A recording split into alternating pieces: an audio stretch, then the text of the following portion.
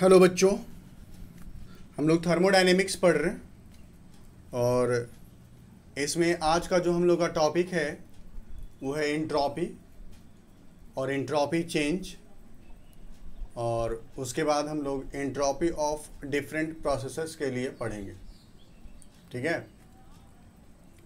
तो ये आज हम लोगों को पढ़ना है और जानना है इनके बारे में। तो इंट्रॉपी है क्या? सबसे पहले तो ये जानना होगा कि इंट्रॉपी क्या है। तो जब इसकी बात कर रहे हैं हम लोग तो यहाँ आपको हम बता दें कि किसी भी सबस्टांस के अंदर में, किसी भी सबस्टांस के अंदर में, उसे, उसके पार्टिकल्स के बीच में जो रैंडमनेस है, जो मूवमेंट है, इसी को हम लोग क्या कहते हैं? इंट्रॉपी कहते हैं। ओके? किसी भी सबस्टांस के अंदर में जो छोटे छोटे पार्टिकल्स हैं, उन पार्टिकल्स का जो रैंडमनेस होगा और जो मूवमेंट होगा, उसी का मेज़रमेंट जो है, उसी का जो वैल्यू होगा, उसी को हम लोग इंट्रॉपी कहते हैं। क्लियर है? जैसे अगर आपसे पूछा जाए क्वेश्चन ये हो कि आइस और वाटर, ओके, आइस और वाटर में ज़्यादा रैंडमनेस किसमें है? यानी पार्टिकल्स के बीच में ज़्यादा मूवमेंट किसमें है? तो ऑब्वियस सी बात है वाटर में होगा। तो वाटर की इंट्रॉपी क्या होगी? ग्रेटर होगी। और आइस की इंट्रॉपी क्या होगी? लोअर क्लियर तो इंट्रॉपी है क्या? तो it is measure of okay? It is measurement of randomness of particles of a substance. Clear तो चलिए देखें यहाँ। इसका डिफिनेशन जो है, उसको भी देख लेते हैं। तो it is measure of disorder और randomness of a system is called as entropy it is denoted by S इसको हम लोग एस से डिनोट करते हैं। अगर हम लोग आइस के रैंडमनेस की बात करें वाटर और वेपर में कंपैरिजन करें तो वेपर का जो रैंडमनेस है सबसे ज़्यादा है। इसका मतलब उसका इंट्रॉपी सबसे ज़्यादा होगा और सबसे कम किसका होगा? आइस का होगा। अब एक बात यहाँ पर करें कि एक कंटेनर है, उसमें मान लो दो पार्टिकल हैं और एक कंटेनर है, उसमें मान लो इस तरीके से चार पार्टिकल्स तो पार्टिकल्स का मूवमेंट किसमें ज़्यादा होगा? रैंडमनेस किसमें ज़्यादा देखने को मिलेगा? तो जिसमें नंबर ऑफ़ पार्टिकल्स ज़्यादा हैं तो किसमें ज़्यादा है? फोर पार्टिकल्स वाले में कंटेनर में। ओके फोर पार्टिकल्स वाले कंटेनर में रैंडमनेस ज़्यादा है। क्लियर तो वह प्रॉपर्टी किसी भी सबस्टांस का वह प्रॉपर्टी जो आपका नंबर ऑफ़ पार्टिकल्स पर डिपेंड करता है, उसको हम लोग एक्सटेंसिव प्रॉपर्टी कहते हैं। तो ये जो प्रॉपर्टी हुआ हम लोगों का, ये कौन सा है? एक्सटेंसिव प्रॉपर्टी ओके तो it is an extensive property उसके बाद, ये इनिशियल और फाइनल स्टेट पर डिपेंड करता है। ये किसी सिस्टम के द्वारा कवर किए गए पाथ पर डिपेंड नहीं करता है। इस वजह से क्या है आपका स्टेट फ़ंक्शन और यही रीज़न है कि इसका हम लोग डेल्टा एस कैलकुलेट करते हैं। यानी चेंज इन इंट्रॉपी कैलकुलेट करते हैं। क्लियर है? अब यहाँ पर हम आपको कुछ बताएँ बात कि देखो इंट्रॉपी की जब हम लोग चर्चा कर रहे हैं तो इंट्रॉपी आपका इंट्रॉपी जो है, उसमें बात करो तो जैसे अगर यहाँ पर कुछ पार्टिकल्स प्रेजेंट होंगे, उन पार्टिकल्स में हम क्या करते हैं यहाँ पे? हीट प्रोवाइड करते हैं। हीट प्रोवाइड करेंगे। तो उसकी इंट्रॉपी जो होगी वो क्या आ जाएगी? बढ़ जाएगी। ठीक है? उसकी इंट्रॉपी जो होगी, वो बढ़ जाएगी। हीट देने से काइनेटिक एनर्जी बढ़ता है। ओके ना? उनका काइनेटिक एनर्जी बढ़ेगा। उसी तरीके से मान लो यानी इंट्रॉपी जो है वो आपका हीट के साथ बढ़ेगा हीट बढ़ेगा तो इंट्रॉपी भी बढ़ेगा। दूसरा कंडीशन अगर यहाँ देखो तो एक सिस्टम यहाँ पर हो 20 डिग्री सेल्सियस पर थ्री पार्टिकल्स के साथ। एक सिस्टम वही थ्री पार्टिकल्स के साथ 40 डिग्री सेल्सियस पर हो। तो अब बताना है कि किसमें ज़्यादा रैंडमनेस होगा, यानी इंट्रॉपी किसकी अधिक होगी। देन ओबियस सी बात है कि इंट्रॉपी जो होगी वो किसकी अधिक होगी? 40 डिग्री सेल्सियस वाले की। क्योंकि टेम्परेचर अधिक है तो यहाँ पर जो पार्टिकल्स का मूवमेंट होगा, जो उसकी काइनेटिक एनर्जी होगी, वो हाई होगी ग्रेटर होगी। क्लियर तो यहाँ से ये बात हम कह सकते हैं कि हाई टेम्परेचर पे आपका इंट्रॉपी क्या होगा? ग्रेटर होगा। हाई टेम्परेचर पर इंट्रॉपी जो होगा, वो क्या होगा? ग्रेटर होगा। समझ में आ गई इतनी बात? चलो। मतलब यहाँ से कहा जा सकता है कि इंट्रॉपी जो है, जिसको हम लोग एस से डिनोट कर रहे हैं, वो टेम्परेचर के भी डायरेक्टली प्रोपोर्शनल है और हीट के भी डायरेक्टली प्रोपोर्शनल है। ओके यहाँ जो आपका इंट्रॉपी है, वो टेम्परेचर और हीट दोनों के डायरेक्टली प्रोपोर्शनल है। क्लियर है? अब चलो। आगे की कहानी। अगला पॉइंट हम लोग का इंट्रॉपी चेंज ओके चूँकि इंट्रॉपी के बारे में बात की कि एक स्टेट फ़ंक्शन है तो स्टेट फ़ंक्शन होने की वजह से यहाँ पर क्या है कि ये इनिशियल और फाइनल स्टेट पर डिपेंड करता है तो यहाँ पर चेंज इन इंट्रॉपी हम लोग प्रेडिक्ट करने की कोशिश करेंगे. तो चेंज इन इंट्रॉपी मतलब क्या होगा? Final entropy minus initial entropy okay ना? Final entropy minus initial entropy तो एक केमिकल रिएक्शन के लिए बात करें तो फाइनल कंडीशन कौन होता है? प्रोडक्ट और इनिशियल कंडीशन रिएक्टेंट होता है। तो delta S for a chemical reaction reactant product entropy of product minus entropy of reactant okay फिर आगे बात करें। इसको लिख दें हम S P minus S R note यहाँ पर हम लिख दिए हैं कि as we can see motion of particles increases with increase in heat and also motion of particles are greater at higher temperature that at lower temperature ये बात तो हो गया कि आपका जो हीट है सॉरी इंट्रॉपी जो है वो हीट और टेम्परेचर दोनों के डायरेक्टली प्रोपोर्शनल है। लेकिन यहाँ अब हम लोग, चूँकि चेंज इन इंट्रॉपी की बात कर रहे हैं तो यहाँ से एक पॉइंट हम लोग को रिलेट करना होगा। कि अगर दो सबस्टांसेस हैं, ठीक, दोनों की हीट बढ़ाएँगे तो ओबियस सी बात है कि इंट्रॉपी भी बढ़ेगा और इंट्रॉपी बढ़ेगा तो इंट्रॉपी चेंज भी बढ़ेगा। क्लियर इंट्रॉपी चेंज भी बढ़ेगा। तो डेल्टा एस जो है, ये हीट के तो डायरेक्टली प्रोपोर्शनल है। ओके ये जो आपका डेल्टा एस हुआ, ये हीट के डायरेक्टली प्रोपोर्शनल लेकिन, फिर आगे अगर आप बात करते हो टेम्परेचर के साथ रिलेट करने का। तो चलो रिलेट करते हैं यहाँ पर। इस तरीके से। यहाँ पे चार पार्टिकल यहाँ भी चार पार्टिकल यहाँ ट्वेंटी डिग्री सेल्सियस और यहाँ पे फिफ्टी डिग्री सेल्सियस अब दोनों में हम ten kilo joule heat provide किए। दोनों में टेन किलो जूल का हीट प्रोवाइड करा रहे हैं। अब ten kilo joule, ten kilo joule दोनों में प्रोवाइड करा है तो अब ये हो पूछ आपसे बताना होगा आपको कि इंट्रॉपी चेंज ज़्यादा किसमें हुआ होगा? मतलब इन दोनों के कंपैरिजन में। ज़्यादा इंट्रॉपी का इंक्रीज किसमें दिखा होगा? इन दोनों में।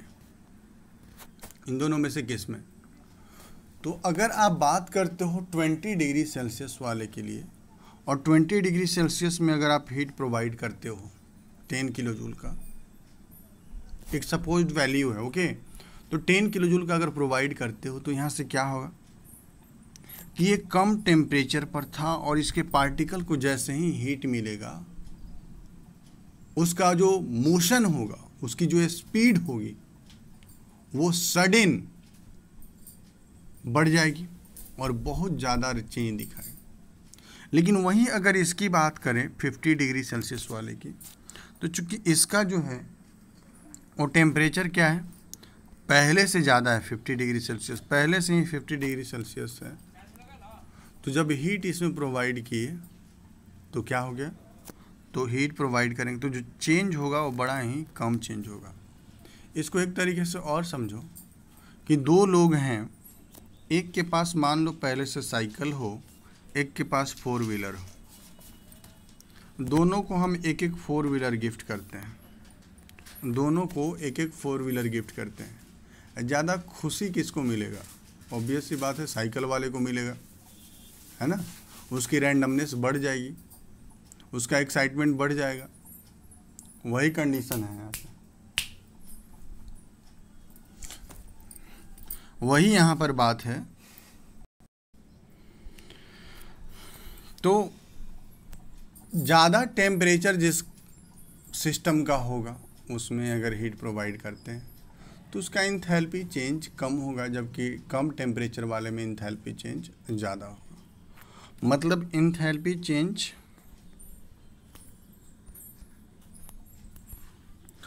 इंथैल्पी चेंज और क्यू के साथ तो डायरेक्टली प्रोपोर्शनल लेकिन टेम्परेचर के साथ इन्वर्सली प्रोपोर्शनल ओके ना? टेम्परेचर के साथ इन्वर्सली प्रोपोर्शनल रिलेशन हो गया और क्यू के साथ डायरेक्टली प्रोपोर्शनल जबकि अगर इंट्रॉपी की बात की जाएगी तो क्यू और टी यानी कि हीट और टेम्परेचर दोनों के साथ डायरेक्टली प्रोपोर्शनल रिलेशन लेकिन अगर चेंज इन इंट्रॉपी की बात की जाएगी या फिर इंट्रॉपी चेंज की बात की जाएगी तो वहाँ पर आपका क्या होगा कि हीट के साथ डायरेक्टली प्रोपोर्शनल और टेम्परेचर के साथ इन्वर्सली प्रोपोर्शनल रिलेशन होगा। अब चलिए आगे बात करते हैं। उन्हीं सब चीज़ों को लिखे हम यहाँ पे। For a small change in entropy d S equal to d Q by T for reversible condition at absolute temperature reversible condition होगा तो वहाँ पर जो हीट चेंज होगा वो लार्ज अमाउंट में होगा बहुत बड़ा होगा। ठीक है? बहुत बड़ा होगा वो मतलब लार्ज अमाउंट रहेगा। इस वजह से उसको हम लोग क्यों सपोज़ कर रहे हैं। चूँकि चेंज वहाँ पर बहुत कम दिखेगा तो इस वजह से ओवरऑल क्या सपोज़ कर लिए हम लोग? क्यों सपोज़ कर लेते हैं। ठीक है? आ, तो delta S equal to Q reversible by T absolute यानी फॉर्मूला निकल कर आया delta S equal to Q by T total entropy change for universe अगर यूनिवर्स के लिए बात करेंगे तो यूनिवर्स में क्या होगा? कि सिस्टम प्लस सराउंडिंग तो यूनिवर्स के टोटल इंट्रॉपी चेंज की बात करते हैं तो सिस्टम प्लस सराउंडिंग क्लियर है? अब क्लॉसियस इनक्वालिटी एक लॉ है जिसको हम लोग आगे देखेंगे। उसमें बोला गया है कि यूनिवर्स का जो इंट्रॉपी होता है वो हमेशा पॉजिटिव होगा, ग्रेटर देन ज़ीरो होगा। इंट्रॉपी चेंज होगा, वो हमेशा ग्रेटर देन ज़ीरो होगा, क्योंकि इंट्रॉपी जो होता है वो हमेशा इंक्रीज कर रहा होता है यूनिवर्स का। भले एनर्जी कांस्टेंट हो, लेकिन इंट्रॉपी हमेशा इंक्रीज करते रहता है। अब यहाँ पर आपको कुछ बात बता दें हम। कि फॉर स्पॉन्टेनियस प्रोसेस अब इसको भी हम प्रूव कर लें कि स्पॉन्टेनियस प्रोसेस के लिए डेल्टा एस तो मान लो अपने पास आइस क्यूब हो और इसको फ्रीली छोड़ दिया जाए तो क्या हो जाएगा ये? वाटर में कन्वर्ट हो जाएगा। तो रैंडमनेस इसकी बढ़ गई कि नहीं? और एक ऐसा प्रोसेस था स्पॉन्टेनियस था। ओके तो यहाँ आइस से वाटर जाने पे ओबियस सी बात है कि रैंडमनेस जो है वो बढ़ जा रही है। और ये स्पॉन्टेनियसली होगा मेल्टिंग जो होगा स्पॉन्टेनियस होगा। तो इसका इंट्रोपी वाटर का इंट्रोपी ग्रेटर और आइस का इंट्रोपी कम। तो क्या होगा? फॉर्मूला होता है प्रोडक्ट माइनस रिएक्टेंट तो प्रोडक्ट का ग्रेटर है और रिएक्टेंट का स्मॉलर है। तो कैसा होगा? पॉजिटिव वैल्यू होगा। और इसी वजह से डेल्टा एस का वैल्यू जो होगा, वो ग्रेटर देन ज़ीरो होगा। क्लियर है? तो अब यहाँ से एक बात कहा जा सकता था कि अगर इंट्रॉपी यानी चेंज इन इंट्रॉपी का वैल्यू अगर ज़ीरो से ग्रेटर है, यानी पॉजिटिव है मतलब प्रोसेस स्पॉन्टेनियस होगा। मतलब इंट्रॉपी को स्पॉन्टेनिटी का क्राइटेरिया सपोज़ किया जा सकता था। और ये कहा जा सकता था कि अगर डेल्टा एस का वैल्यू किसी प्रोसेस के लिए, किसी रिएक्शन के लिए पॉजिटिव है तो वो प्रोसेस आपका स्पॉन्टेनियस है। अब देखिए थर्मल इक्विलिब्रियम के लिए अगर हम लोग बात करें यहाँ पर तो delta S equal to zero okay entropy change यहाँ पर कितना है? ज़ीरो इक्विलिब्रियम प्रोसेस के लिए। क्यों? क्योंकि इक्विलिब्रियम प्रोसेस जो होगा वो रिवर्सिबल होगा। ओके जैसे आइस और वाटर के बीच में अगर इक्विलिब्रियम रिलेशन है तो जितना आइस वाटर में कन्वर्ट हो रहा होगा उतना ही वाटर आइस में कन्वर्ट हो रहा होगा। ओके okay, जितना आइस वाटर में कन्वर्ट करेगा उतना ही वाटर आइस में कन्वर्ट होगा। तो इस तरीके से इक्विलिब्रियम मेंटेन होता है। क्लियर कि जितना रेट से ये वाला इसमें कन्वर्ट हो रहा होगा उसी रेट से ये वाला इसमें कन्वर्ट होगा। तो ये जो rate of conversion both sides का है ये इक्वल होता है। और इसी वजह से यहाँ पर आपका चेंज इन एंट्रॉपी जो होता है वो क्या होता है? ज़ीरो होता है। क्लियर है? अब।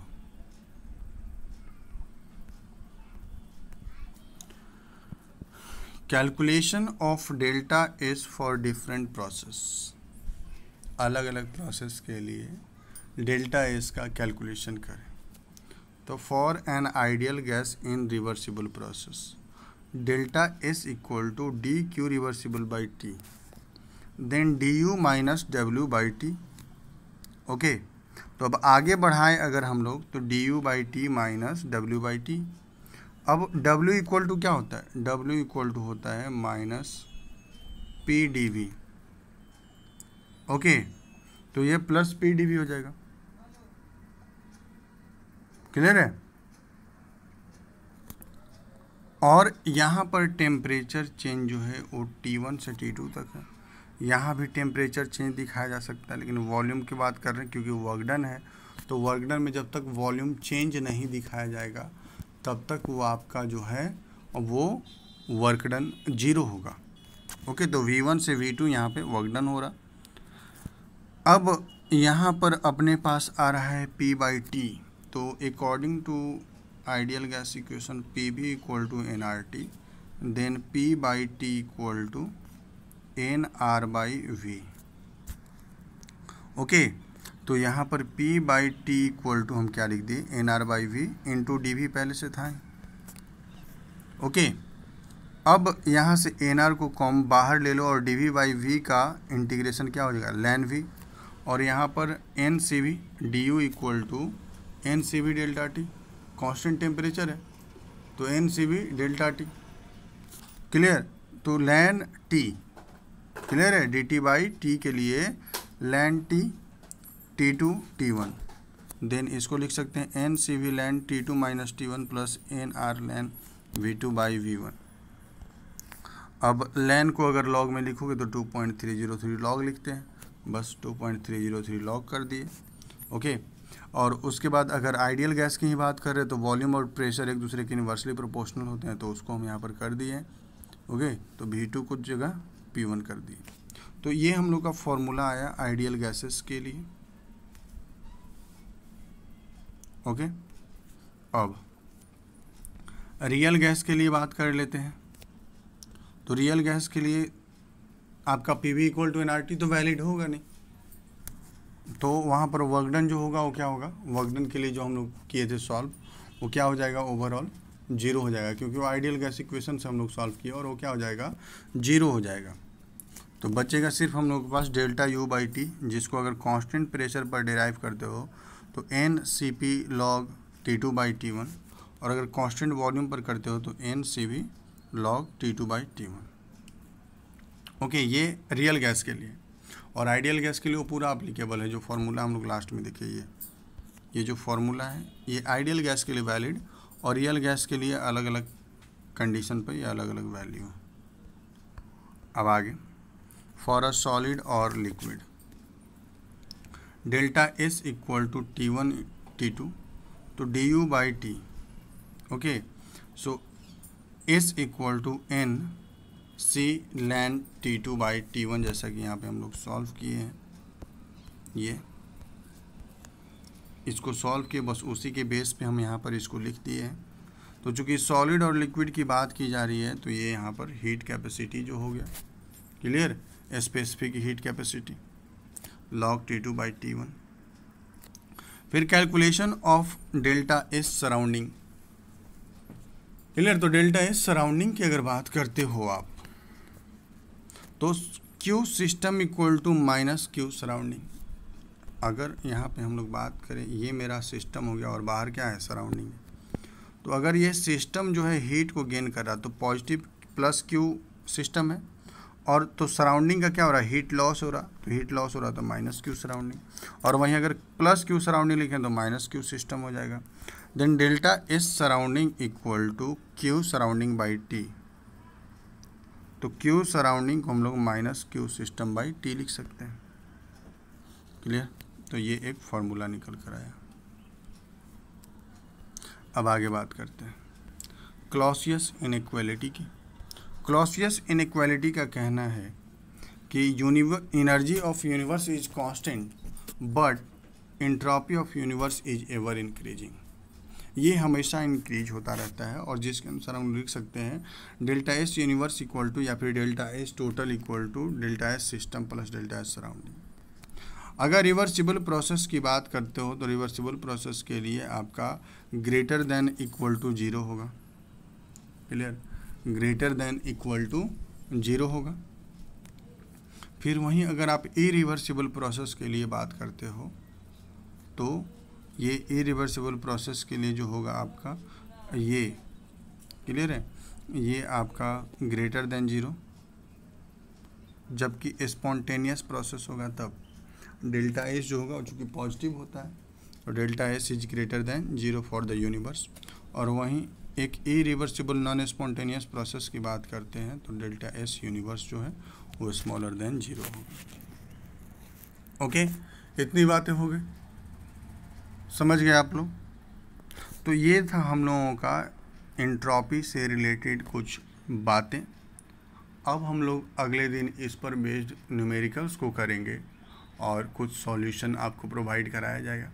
और फिर मिलते हैं हम लोग नेक्स्ट डे कुछ न्यूमेरिकल्स और साथ साथ कुछ टॉपिक के साथ। ओके? तब तक के लिए पढ़ते रहिए ख्याल रखिए। धन्यवाद।